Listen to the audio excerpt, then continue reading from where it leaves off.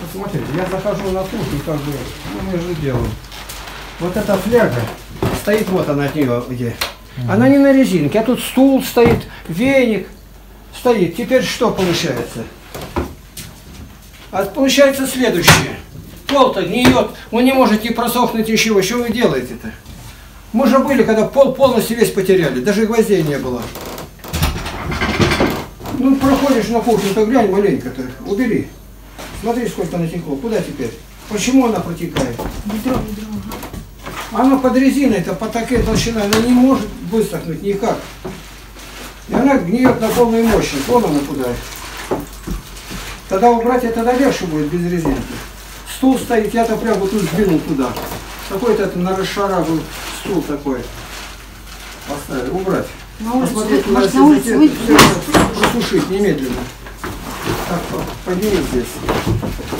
Здесь тоже гниет пол. Вся доска в воде. И тут ты хозяин.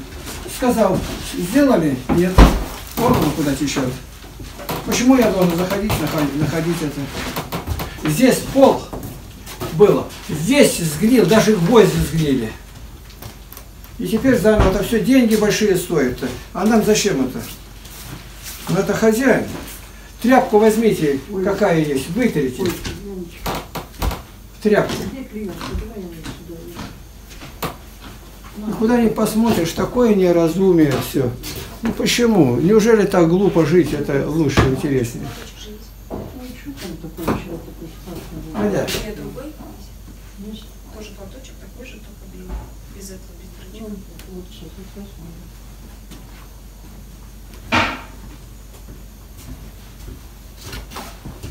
посмотри.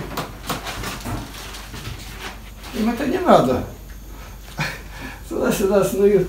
Что не посмотришь, говорю, а то воду не мне еще не мыть. Только руки, когда бывает срочно нужно. Срочно только, не всегда. Вот порядок установил, гляжу, одна морковку, не, не скоблит ее, а режет.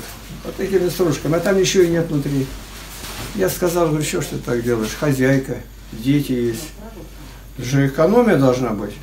Она разобиделась, несколько месяцев побежалась.